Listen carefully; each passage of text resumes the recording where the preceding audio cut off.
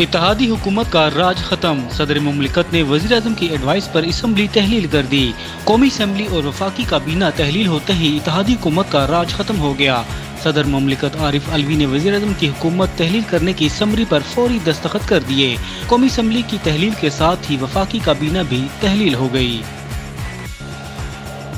वज़ीर अजम शबाज शरीफ का कहना है कि 16 माह में मेरी ज़िंदगी का मुश्किल इम्तहान था। इतना कड़ा इम्तहान अठतीस साल सियासी कैरियर में नहीं देखा। मुख्तर तरीन हुकूमत में बेपनाह चैलेंजेस का सामना था। गुजशत हुकूमत की नाकामियों का बोझ भी हम पर आन पड़ा।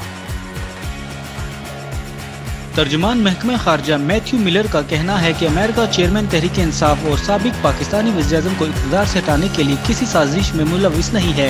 वाशिंगटन में साफियों को ब्रीफिंग देते हुए महकमा खारजा के तर्जुमान ने कहा कि पाकिस्तान के हवाले से अमेरिका पर लगाए गए इल्ज़ाम झूठे हैं और झूठे रहेंगे। सबक वज़ीर दाखिला राना सनाउल्ला का बैन अवी मीडिया पर सामने आने वाली दस्तावेज़ से मुतल कहना है कि मुबैना दस्तावेज़ की सच्चाई मालूम करने के लिए तहकीकत की ज़रूरत है। मुमकिन तौर पर यह एक बहुत ही मजमूम गद्दार और फितना अंगेज अमल है।